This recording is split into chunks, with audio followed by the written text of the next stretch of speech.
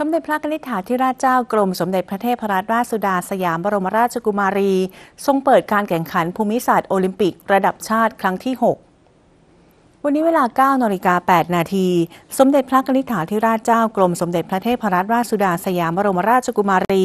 เสด็จพระราชดำเนินไปยังหอประชุมใหญ่ มหาวิทยาลัยเกษตรศาสตร์ เขตบางเขนเขตจตุจักรกรุงเทพมหานคร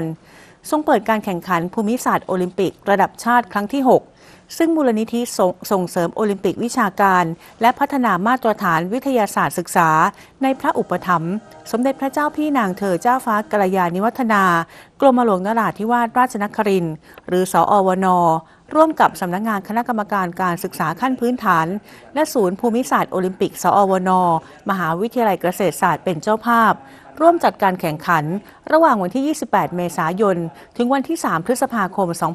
2567 ณ มหาวิทยาลัยเกษตรศาสตร์ เพื่อยกระดับการศึกษาด้านภูมิศาสตร์ ซึ่งเป็นสาขาหนึ่งในหมวดวิทยาศาสตร์ประยุกต์ ที่ใช้อธิบายปรากฏการเชิงพื้นที่ในด้านต่างๆ ทั้งทางธรรมชาติ ทางสังคมและวัฒนธรรม ตลอดจนการอธิบายถึงปฏิสัมพันธ์ระหว่างมนุษย์และสิ่งแวดล้อม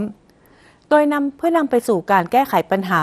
และกำหนดแนวทางการพัฒนาทั้งในระยะสั้นและระยะยาว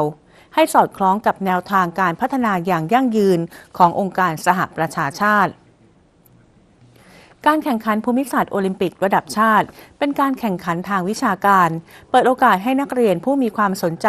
และมีความรู้ความสามารถในวิชาภูมิศาสตร์ในระดับสูง ได้ทดสอบความรู้ และมีประสบการณ์ในการแข่งขัน เพื่อเตรียมความพร้อมให้แก่นักเรียน ที่จะเป็นตัวแทนประเทศไทย ไปเข้าร่วมการแข่งขันภูมิศาสตร์โอลิมปิกระหว่างประเทศครั้งที่ 20 ณ เมืองเมนูสและเมืองดับลิน สาธารณรัฐไอร์แลนด์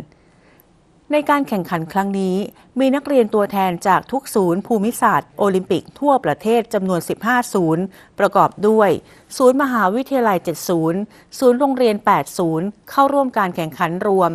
103 คน อาจารย์หัวหน้าทีมและรองหัวหน้าทีมจำนวน 33 คน โดยมีคณะกรรมการผู้ทรงคุณวุฒิ เป็นคณะกรรมการจัดการสอบและตัดสินผลการแข่งขันภูมิศาสตร์โอลิมปิกระดับชาติ การแข่งขันใช้หลักเกณฑ์มาตรฐานเดียวกัน กับการแข่งขันภูมิศาสตร์โอลิมปิกระดับนานาชาติกำหนดให้โจทย์ในข้อสอบ และการตอบข้อสอบเป็นภาษาอังกฤษทั้งหมด มีการสอบ 3 หัวข้อเรื่อง ได้แก่ ภูมิศาสตร์กายภาพ ภูมิศาสตร์มนุษย์ และภูมิศาสตร์เทคนิค ในรูปแบบการสอบข้อเขียน การสอบภาคสนาม และการสอบแบบมัลติมีเดีย โอกาสนี้มีพระราชดำรัสความสำคัญตอนหนึ่งว่า สาขาวิชาภูมิศาสตร์ ช่วยให้เราสามารถอธิบายปรากฏการณ์ต่างๆ ที่เกิดขึ้นในโลก ทั้งที่เกิดขึ้นตามธรรมชาติ และที่มนุษย์สร้างขึ้น เมื่อนำความรู้ทางภูมิศาสตร์แขนงต่างๆ ไปบูรณาการกับศาสตร์อื่น ๆ เช่น ปฐพีวิทยา อุตุนิยมวิทยา สังคมวิทยา การแพทย์ หรือศาสตร์อื่น ๆ ที่เกี่ยวข้องจะช่วยให้เกิดความรู้ความเข้าใจปรากฏการณ์นั้นๆ รวมทั้งผลกระทบที่มีต่อโลกและมวลมนุษยชาติ พื่อจะกำหนดแผนในการรับมือและแก้ปัญหาได้อย่างเหมาะสม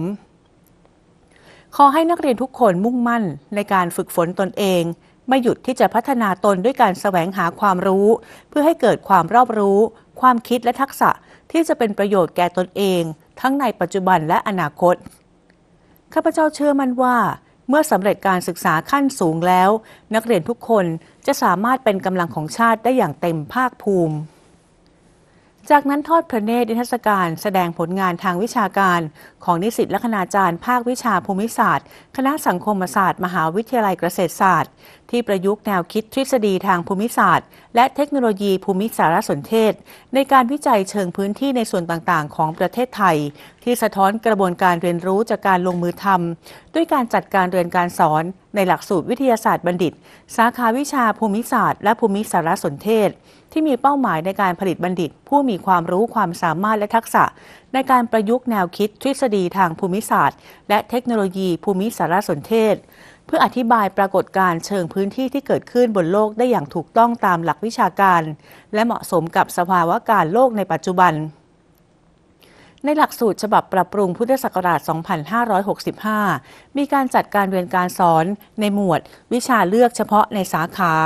ในลักษณะของโมดูล หรือกลุ่มวิชาที่ให้ผู้เรียนได้เลือกเรียนจากรายวิชาใน 4 โมดูล ความสำคัญอยู่ที่การกำหนดให้รายวิชาในกลุ่มวิชาวิจัย เป็นวิชาเฉพาะบังคับ ที่เปิดโอกาสให้ผู้เรียนได้ฝึกทักษะในการเรียนรู้กระบวนการศึกษาวิเคราะห์ประเด็นปัญหา และปรากฏการเชิงพื้นที่ ที่ต้องผ่านขั้นตอนการตรวจสอบ ความเป็นภูมิศาสตร์ของหัวข้อวิจัย ก่อนเริ่มดำเนินการวิจัย เพื่อให้สามารถสร้างผลงานวิจัยที่มีความเป็นภูมิศาสตร์อย่างชัดเจน